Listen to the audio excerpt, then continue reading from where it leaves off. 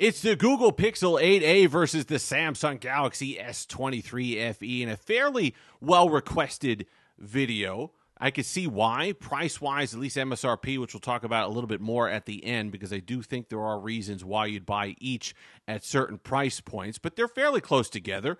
$600 for the S23 FE versus $500 for the Pixel 8a. Links in the description, by the way, if you are planning on buying them, does help the channel. And also, the main thing is these seem to be the focus of some uh, pretty uh, heavy carrier discounts. In fact, AT and T, I think you get the Pixel 8a without a trade-in, by the way, for three bucks a month, and I think it's like four bucks a month, or maybe a little bit more, five bucks a month for the S23 FE. So these are devices that you might be deciding between, and I can see that because without an A55, the S23 FE has really become the Samsung mid-range option, even though it's priced a little bit higher than I would like for a mid-range phone. If we think the 8A is expensive, well, then $600 takes that even further. Let's talk about design of the two. S23 FE, really no surprises. Samsung design has been stagnant for a few years now, and for the lower cost devices, that seems to help. But for the upper price stuff, it, it kind of hurts. It makes everything kind of the same. So a lot of people have gotten bored with this design, but if you like the fact that it looks a little bit more premium and it's in line with the more expensive devices, then you get more of the same here with the S23 FE. And uh, with the 8A, you kind of get the evolution uh, even though it's iterative of the Pixel design, we're moving towards the Pixel 9 now, where it's going to have more of these curvier edges and softer surfaces and stuff like that. You do have the plastic build, or at least a plastic back. It is still on a metal frame on the 8A, so that's something to consider. A lot of people think that's a bonus. A lot of people don't want to carry a case around. They want to enjoy the design of the phone. Still feels nice. Love the matte plastic on here. I don't think it feels cheap and it feels solid, so that's good. But if you want the glass back, you do get that on the S23 FE with the metal frame as well.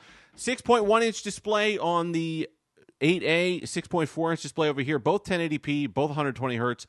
It's not unlike when it seems like 6.5 inches is the point when devices start to feel large because even though it's 6.1 versus 6.4, I don't feel a significant difference in the hand between these two. Whereas if I were to bring in the 8 eh, A55 at 6.6 inches, that starts to feel like a larger device in the hand. So take that as as you will the the difference there. But I, if you like a more compact device and you're looking at the Pixel 8a, don't necessarily just default to the 8a because it has that 6.1 inch display. Both of these feel uh, feel relatively comparable in the hand. Let's talk about those displays. Google has done a significantly better job this year with the Actua display on the 8a. In previous years, this wasn't even close. It was a blowout. The S23 FE would just knock the the Pixel display out of the water. Not the case anymore. I still need to to, to ramp up the brightness brightness all the way on the 8A to get it to a place where I like it, but it's more saturated than it used to be. It's poppier.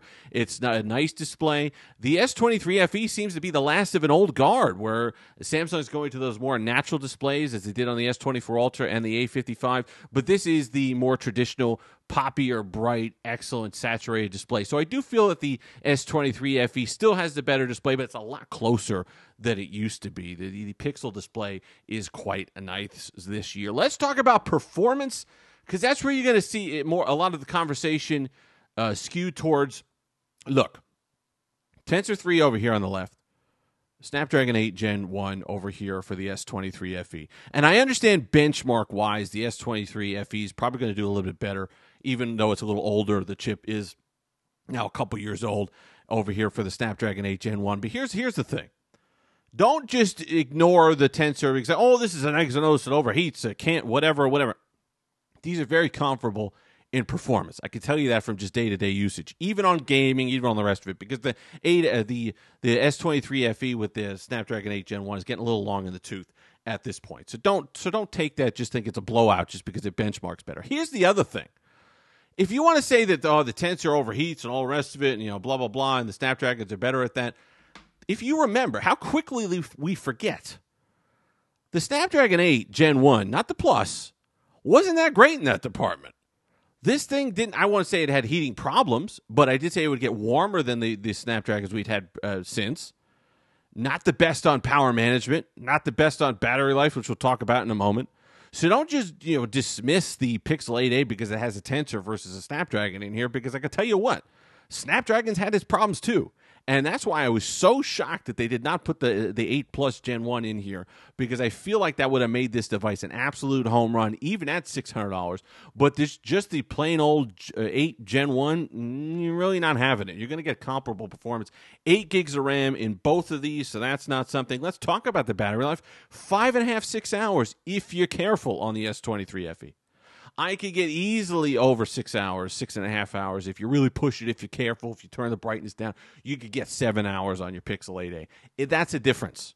Okay. When you start talking an hour's difference, when you start talking how much you have to do to kind of trick it to get the battery to perform better, that's a significant uh, a number. I think at least an hour there, especially when you're talking over six hours of screen on time. Recharge times are pathetic on both. 25 watt uh, fast char- fast charging on the S23 FE, which is like 18 watt, whatever the whatever laughable number they put on the Pixel devices now. But neither one of them is going to be a speed demon and really rip through. Here's where you start getting some real differences for the Pixel device. Cameras, it's a blowout. The, the S23 FE camera is goofy. I don't know why. I've had samples of it before. I'm not gonna. They're soft. They're weird. It does weird things with the subject of the photo. It's but whereas you got the 64 megapixel pixel camera, computational photography, all the rest of it over here. So then you know, easy check mark I think for the Pixel 8a. Support seven years of support over here. We still have this six six months old at this point, but you still have another three ish four years of support over here for the S23 FE. So it's not too bad. It's not a big difference, but you do get a nice long clock over here. That includes major upgrades of Android and all the rest of it. You know, it, S23 FE is running 6.1. You know, it was kind of weird that they had that discussion for a while. Samsung did about whether the uh, One UI 6.1 was even coming to these devices, these older devices, especially with a generation uh, with a Snapdragon 8 Gen 1 but it's got 6.1, doing fine. You know, I could uh, kind of hold the bar here. It's tough to do behind the camera. You get circle of search. You could do all that. You get kind of the AI camera stuff. We could go in here. I was doing stuff before, but you could kind of go here and you, I could I can do a little circle here and it'll it'll generate the the thing and then I can kind of tap it and hold it and move it around and then do, so I could do that stuff. So you do get the AI stuff and it works well and it's snappy on the S23 FE. So don't think that just because this is an older Samsung that you're kind of left behind on the AI stuff because Gemini Nano. I know Gemini Nano is coming here in June, you know, maybe. So, you know, if anything, it's kind of goofy to say the S23 FE is a little bit ahead in the AI race going into things. So, all right, let's talk about the pricing now. $600, $500. Realistically, you're not paying that for either. Okay? If you can get this for sub 450, I think you're doing really well on the S23 FE. I think there are enough advantages. This might be just my bias. I like One UI a little bit better than the Pixel experience right now. Phone wise, these are very close. Performance wise, you're getting great performance on both. Builds are, are solid in their own way for these two devices. So it really comes down to pricing and, and which one you're getting cheaper. So if it's a if it's a per monthly thing, you know, if you like One UI, then get pick up the Samsung for five bucks a month. If you like the Pixel experience, which you know you do, or you either do or you don't, then go ahead and pick up the 8A. If you're a camera, Shutterbug, whatever, the 8A is going to be the choice. You want that extra software support, the 8A is going to be the choice. Everything else, I think you're going to want to skew towards the Samsung, to be perfectly honest. You know, it was designed to be a more powerful phone. I think it is a slightly more powerful phone benchmark wise, even though I said like, you know, performance is comparable. Battery life a little weaker, but I think the overall package at a price, right? Sub 450. These can't be $100 apart. If it's $100 apart at MSRP, pick up an 8A. Okay? It's not even a conversation. However, if it starts to get even or the uh, Samsung gets a little lower price, then I would lean towards the the Galaxy. But I, I could totally see why people I totally see why people would pick up an 8A and enjoy it. I really have been enjoying it. I love it.